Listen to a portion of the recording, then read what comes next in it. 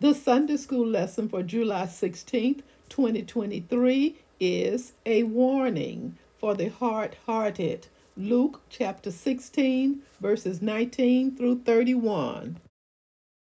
Welcome, viewers and subscribers, to my channel, The Backstory. I am Audrey. If you are new here, you will become aware of what happens before each Sunday school lesson. The agenda is as follows I will share the backstory, read the lesson text, and offer a brief lesson summary. To the subscribers, thank you so much for subscribing. To the viewers, please go ahead at this point and subscribe to this channel and share it with your Facebook friends, your Bible study group, your Sunday school class, and others. Thank you so much in advance for your support. I am offering a summary of the backstory. Luke chapter 16, verses 1 through 18. The two parables in this chapter must be understood in the light of verse 14, which reads The Pharisees who loved money heard all this and were sneering at Jesus. Describing the Pharisees as those who loved money, that Jesus would make a dishonest business manager the protagonist of a parable might seem troubling. Jesus was not commending his character, but his view of wealth. The steward did not desire wealth itself, but he used it so the powers that be would welcome him into their houses. Likewise, we are not called to covet money, but to invest it in our future heavenly home, the kingdom of God. The Pharisees treated what people value highly as the purpose of life. Therefore, they twisted the least stroke of the law to substantiate a worldly lifestyle style where the issue be money, excuse me, whether the issue be money, marriage, or a variety of other issues. This is just a gentle reminder to ask you to subscribe. By subscribing, you will help me to walk in the path of my gift, one viewer and one subscriber at a time. Thank you so much for what you have done to make this channel what it is thus far and what it eventually can become with your support and with your help. Thank you so much in advance. Verse 19 there was a certain rich man which was clothed in purple and fine linen and fared sumptuously every day. Verses 20 and 21. And there was a certain beggar named Lazarus, which was laid at his gate, full of sores, and desiring to be fed with the crumbs which fell from the rich man's table. Moreover, the dogs came and licked his sores.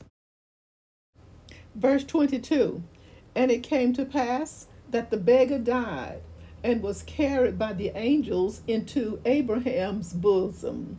The rich man also died and was buried.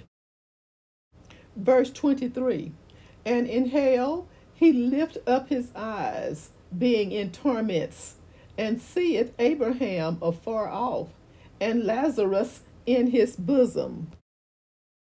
Verse 24 And he cried and said, Father Abraham, have mercy on me, and send Lazarus, that he may dip the tip of his finger in water, and cool my tongue, for I am tormented in this flame.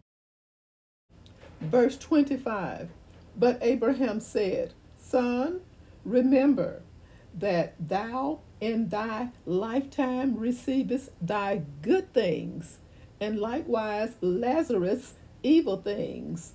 But now he is comforted, and thou art tormented.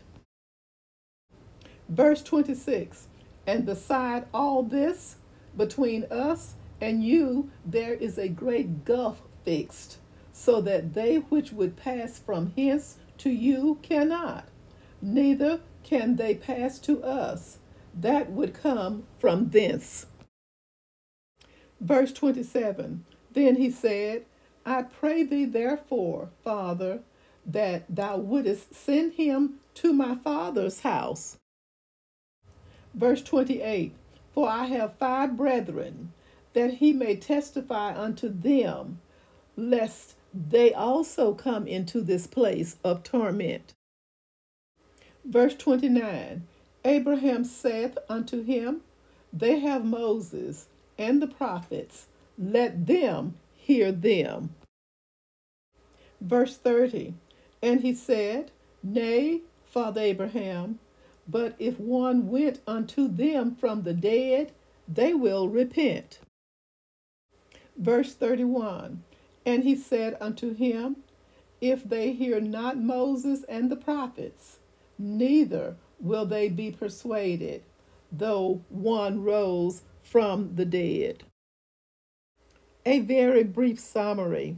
Some Bible students do not view this story as a parable, but as a real situation describing the nature of the afterlife. Whether or not that is true, the purpose of this story seems to be the same as the preceding parable to show the importance of living for the life to come rather than for the things of this world. The rich man, like the Pharisees, was covetous, valuing his possessions more than people. As a result, he was not received into God's presence, but separated from the kingdom by a great chasm.